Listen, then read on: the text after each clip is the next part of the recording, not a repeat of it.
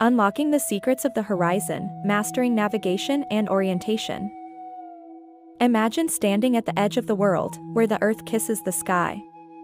This meeting point, the horizon, guides explorers and dreamers alike. To navigate this vast world, understanding the horizon's directions is key.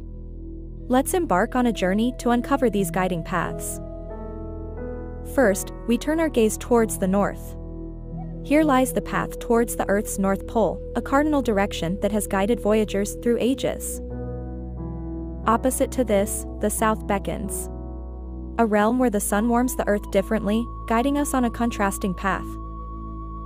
Each direction of the horizon holds secrets and stories, waiting to be discovered.